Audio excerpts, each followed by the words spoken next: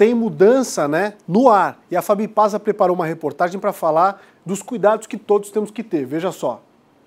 Em pouco mais de um mês fechado, foram mais de 1.200 reservas canceladas neste hotel no centro de Florianópolis.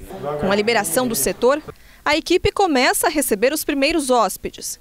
As boas-vindas agora incluem medição da temperatura, e cuidados extras na recepção. Começamos hoje, né? Retornamos hoje, aberto aos nossos clientes, com todas as seguranças, com tudo que está previsto também, é, né? Como forma de segurança para o nosso cliente interno, que é a nossa equipe, para o nosso cliente externo. O setor hoteleiro pode funcionar com 50% da capacidade total.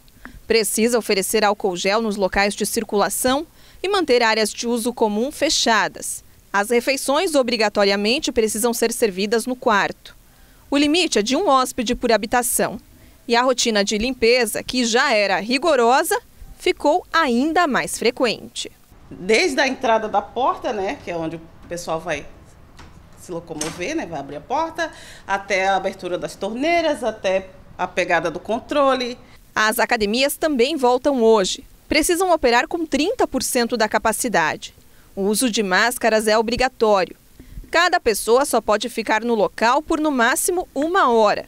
E é preciso agendar os atendimentos para que cada grupo comece e termine junto. Isso para garantir um intervalo para limpeza, antes que os próximos alunos cheguem. Os agendamentos serão feitos de a cada duas horas, ou seja, duas horas, cada duas horas de agendamento, uma hora de treinamento, ou seja, ele, nós teremos um horário de limpeza e higienização do espaço. Então acredito que essa retomada ela vai ser um pouco mais lenta neste início, mas ao decorrer das próximas semanas nós estamos caminhando para a normalidade. Para atividades ao ar livre, esportes coletivos seguem proibidos.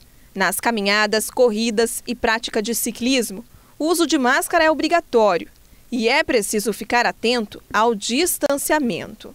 É interessante que você fique a 5 metros atrás, dependendo do vento, de uma pessoa que vai andando na frente, a 10 metros de quem vai correndo na frente ou a 20 metros de quem vai andando de bicicleta na frente. Então, lembrar que isso foi um estudo aerodinâmico mas não necessariamente avaliação da, da, da, da transmissão da infecção pelo coronavírus. Que do ponto de vista de segurança, é mais interessante você ficar lado a lado com 1,80m de se separando ou na diagonal em relação a quem está na tua frente.